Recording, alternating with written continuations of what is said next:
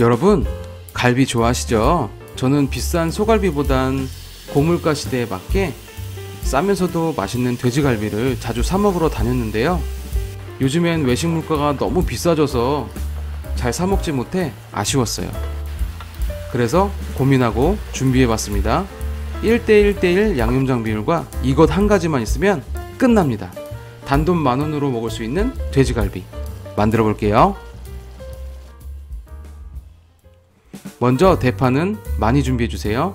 많이 넣을수록 더 맛있어집니다. 꽈리고추 150g은 반을 썰어 준비해 주시고요. 양파 한 개도 이렇게 썰어서 준비해 주세요.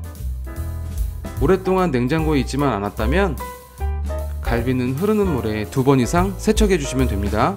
예열된 팬에 이렇게 갈비를 차곡차곡 올려주세요. 앞뒤로 노릇하게 구워주시면 됩니다. 고기가 적당히 구워지고 나면 미림 두 스푼을 이렇게 넣고 뚜껑 닫고 중불에서 5분 이제 양념을 할 건데요. 굳이 양념장 필요 없이 설탕, 간장, 참치액으로 1대1대1 비율 맞춰서 해주시면 되고요. 5분 후 뚜껑을 열고 먼저 설탕 4스푼을 넣고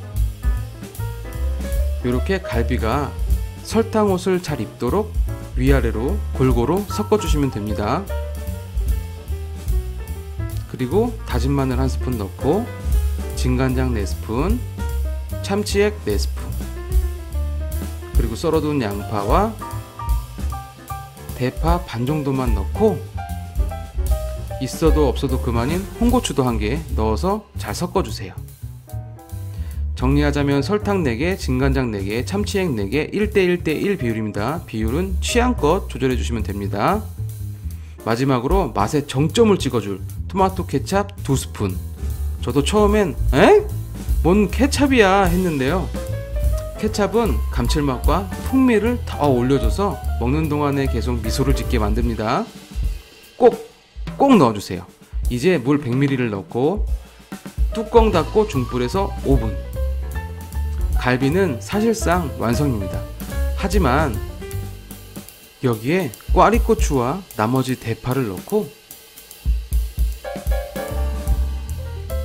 살짝 이렇게 볶아주면 상큼한 꽈리고추 향과 맛있는 양념의 조화가 먹을 때 어깨춤이 절로 나오게 만든다니까요.